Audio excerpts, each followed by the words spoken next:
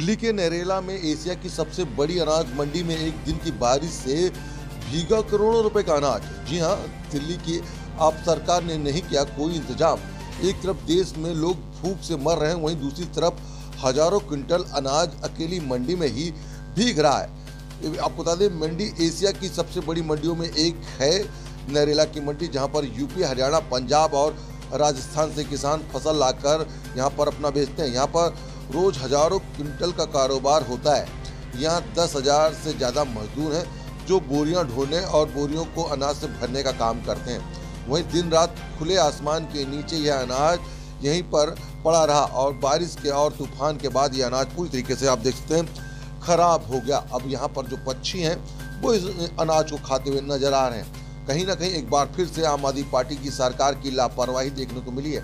आपको बता दें, मानसून के बारे में में अगर मौसम की बात की जाए, मानसून जब होता था, तब भी इस तरीके की तस्वीर आती थी और बिन मौसम, बरसात का अलर्ट पहले से ही मौसम विभाग ने जारी किया था। लेकिन उसके बावजूद आप देखिए किस तरीके से करोड़ों रुपए का जो अनाज है, वो यहाँ पर भीग चुका है, जो कि अब पूरी तरीके से खराब हो रहा है। राजधानी दिल्ली में आपको बता दें कि दो दिन की बारिश, शनिवार और रविवार की हुई बारिश के बाद ये असर देखने को मिला कि किस तरीके से जो अनाज है, वो पूरी तरीके से भीग चुका है। मीडिया का कैमरा यहाँ पर पहुँचा तो मीडिया ने दिखाया कि किस तरीके से सरकार की जो लापरवाही है, वो यहाँ पर देखने को मिल रही कि कई लोगों का पेट भर सकता था ये अनाज जो कि बर्बाद हो रहा है। जी हाँ करोड़ों रुपए का अनाज जो है, जो हज़ारों लोगों की भूख जो भर सकता था, मिटा सकता था, वो अनाज पूरी तरीके से खराब हो रहा है, क्योंकि खुले आसमान के नीचे ये अनाज पूरी तरीके से रखा था और बरसात में पूरा अनाज जो है, वो भीग गया। तस्वीरें में आपको नरेला मंडी की दिखा रहे हैं, जहाँ पर एशिया की सबसे बड़ी मंडी नरेला में आप यहाँ देखिए किस तरीके से जो गेहूँ है, वो भीग गया है। यहाँ पर अलग अलग राज्यों से जो किसान हैं, वो गेहूँ जो है यहाँ पर बेचने आते हैं और गेहूँ को खरीद लिया गया था, लेकिन उसके बाद ये गेहूँ कई लोगों की जो भूख मिटा सकता था, वो यहाँ पर देखिए किस तरीके से बर्बाद होता हुआ नज़र आ रहा है। और सो न्यूज़ की तमाम खबरों को देखने के लिए हमारे यूट्यूब चैनल को सब्सक्राइब करें और ताज़ा तरीन खबरों को पढ़ने के लिए हमारी वेबसाइट डब्ल्यू पर विज़िट करें, जहाँ पर आपको देश दुनिया की तमाम खबरें मिलती हैं।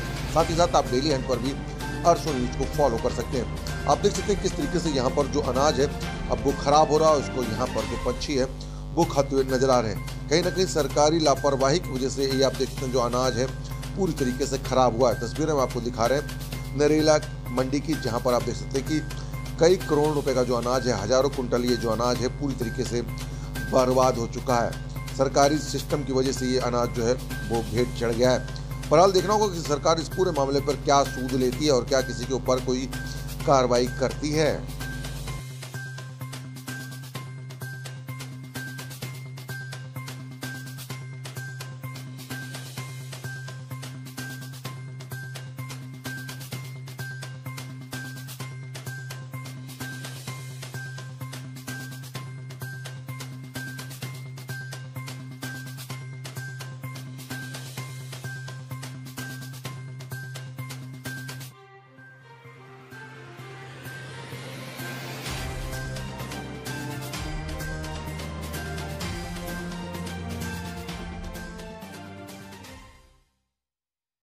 क्या नाम है सर आपका?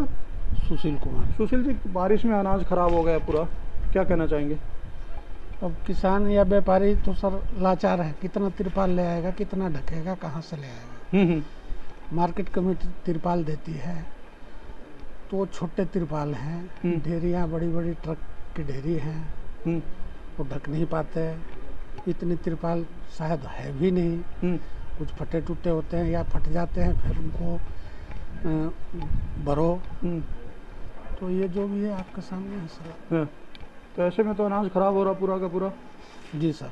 हाँ। खराब तो हो रहा है बारिश में। हम्म। पानी लगी हुई है ढेरियों में तो ये तो खराब होंगे हम्म। अब इसमें अंकुर फूटना शुरू हो जाएगा? जी सर। हम्म। एक से दो दिन में इनमें उनको फटना चालू हो क्या ऐसे ही ये हर बार खराब होता है? ऐसे ही आप जब भी- शिकायत करते हैं इसकी? जब भी बारिश होती है तो खराब तो होता ही है सर। हाँ, शिकायत करते हैं आप लोग? किससे शिकायत किया जाए? कोई सुनने वाला नहीं। अब हम लोगों ने तो कहीं शिकायत करने गए नहीं सर। हम्म। ना किसी को कहा है। हम्म। लेकिन जो भी है खुले में है सबको दिखाई देता है। इसमें हम्म। क्या शिकायत करना क्या करना? के चालू हो गए इनकी। कोई कह रहा है को, कोई कह रहा है सोलह लाख कोई कह रहा है तीस लाख रुपए किराया दे दे इसको दे, दे दिया गया है। लेकिन मार्केट मार्केट भरते हम सब और किराया दिया दिया जाता है उसको। लेकिन गवर्नमेंट यहाँ माल नरेला मंडी के अंदर आज तक तो खरीदा नहीं है और इनके किराया ऊपर से दिया जाए। तीन साइड की। एक तरफ़ तो किसान पूरा मेहनत करता है फ़सल उगाता है लेकिन यहाँ मंडी में आके देश की राजधानी है हम्म। यहाँ अगर सब खराब हो जाता है।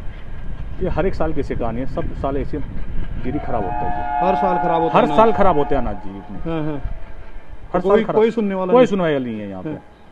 केजरीवाल सरकार तो बोलती है कि अरे सर के पूरा- सब कहने कहने की बात है सर। हम्म, सब कहता है हम ये कर रहे हैं वो कर कुछ नहीं है यहाँ पे। हम्म, ठीक है सर। अपनी अपनी पार्टी चलाने के चक्कर में कहता ये है बस। तो ऐसे में क्या बेबस है आप लोग? बेबस है। हम्म, कुछ नहीं कुछ नहीं कर सकते। हम्म, कुछ नहीं किया जाएगा? नहीं। हम्म।